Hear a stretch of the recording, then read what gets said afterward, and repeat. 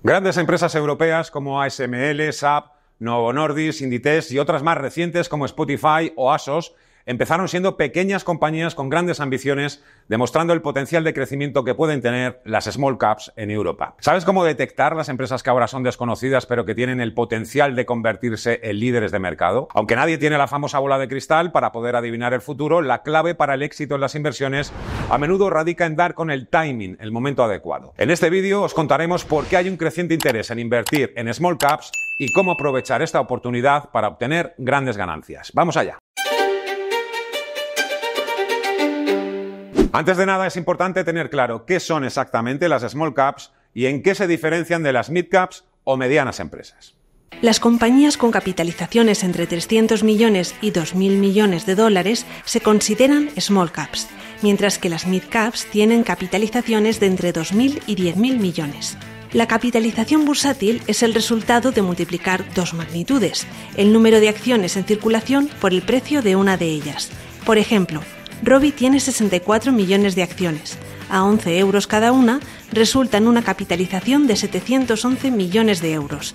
Por lo tanto, Robi se clasifica como una small cap. Las small caps europeas son interesantes para los inversores en estos momentos por varias razones. Primero, ofrecen una rentabilidad superior a las grandes compañías y oportunidades únicas. En segundo lugar, a menudo son objetivo de fusiones y adquisiciones.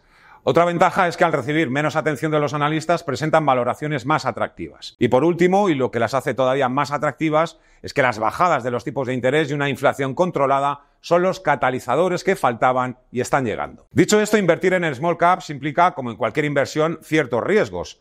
Al ser menos líquidas en el mercado, la volatilidad puede ser mayor. Además, al ser menos conocidas, el proceso de identificación y análisis requiere un conocimiento profundo del mercado y una vigilancia constante. Entendiendo a fondo las ventajas y desventajas, Analicemos ahora en profundidad por qué el momento para invertir en small caps europeas es tan interesante y favorable. Sepamos de dónde venimos. Históricamente, las pequeñas y medianas empresas europeas han sido más rentables, aunque desde mayo de 2021 han tenido un rendimiento inferior a las grandes compañías. Hablamos de un 30%, considerando la caída del 9% del stocks Small 200 frente a la subida del 22% del Eurostox 50. Esta diferencia se debe a varios factores. Factores geopolíticos, problemas en cadenas de suministro, eh, subidas de inflación, subidas de tipos de interés y estos factores históricamente afectan más a este tipo de, compañías. Un contexto de mayor incertidumbre que lleva a una búsqueda de mayor seguridad en las grandes compañías y en los activos eh, más líquidos. Pero este contexto ha empezado a cambiar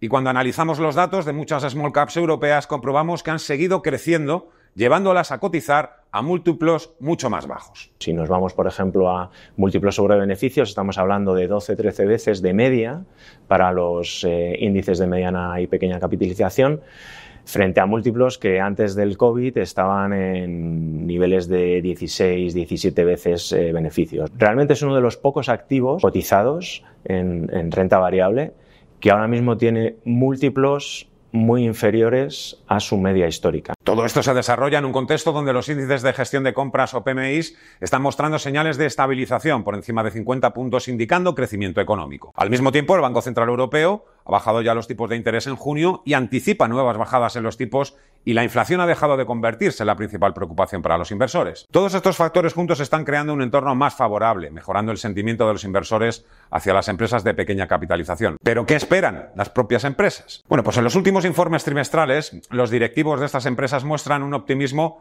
con cautelas para lo que queda de año, ya que son conscientes de la posibilidad de un empeoramiento de la macroeconomía y la siempre presente incertidumbre geopolítica. Pero en general esperan que la segunda mitad del año sea mejor que los primeros meses de 2024. Anticipan una recuperación en la gestión de las cadenas de suministro, los inventarios y los problemas logísticos que se agravaron entre 2022 y 2023. Las estimaciones de crecimiento para las pequeñas y medianas compañías para los próximos 2-3 años son de crecimiento en doble dígito o cerca de doble dígito en beneficios y esto viene apoyado por varios factores. En primer lugar, una mejora en, la actividad económica, como estamos viendo en los últimos meses, y esto viene acompañado de una normalización de costes laborales, de costes energéticos, de costes de materias primas y de costes financieros. El consenso está estimando ese crecimiento eh, por encima del 10% para el, índice de pequeñas y medianas compañías en, Europa, que contrasta con el crecimiento a dígito simple alto, eh, digamos que está por encima del, del crecimiento en las grandes. Teniendo esto en cuenta, parece, por tanto, que estamos en un momento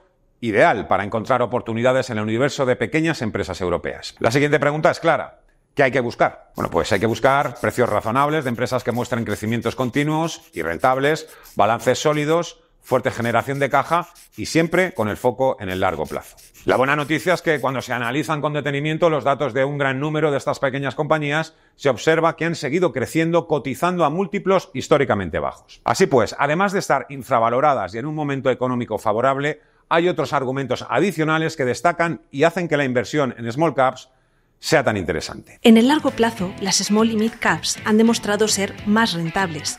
En los últimos 20 años, a pesar de los tres años más recientes de bajo rendimiento, se observa un 6% anualizado del Stock Europe Small 200, frente al 3% del Eurostock 50. Además, ofrecen exposición pura a megatendencias y nichos de crecimiento, de los cuales pueden beneficiarse estructuralmente en los próximos años. Situemos el foco en los sectores de tecnología e industria, por ejemplo. Dentro del sector tecnológico, Soitec es un líder en la fabricación de materiales semiconductores necesarios para la producción de chips electrónicos. CompuGroup Medical proporciona soluciones de tecnología de la información para el sector de la salud. Y Repli es una empresa especializada en consultoría implementación de sistemas y soluciones digitales que se beneficia de la digitalización de las empresas. En el sector industrial, Kion es un actor principal en el negocio de automatización de almacenes y sistemas de manejo de materiales, algo decisivo para el e-commerce. Rentokil se especializa en el control de plagas. Fluidra es el líder europeo en componentes para piscinas y Corbion desarrolla ingredientes sostenibles para alimentos. Estas son empresas líderes en sus respectivos campos que se benefician de las tendencias globales hacia la sostenibilidad y la eficiencia. Y todavía hay más argumentos a favor de la inversión en small caps. Las small mid caps tienen una mayor probabilidad de ser objeto de operaciones corporativas debido a su tamaño y valoración relativa. En los últimos meses hemos visto crecer el número de procesos de M&A, de fusiones y adquisiciones, tanto en Estados Unidos como en Europa.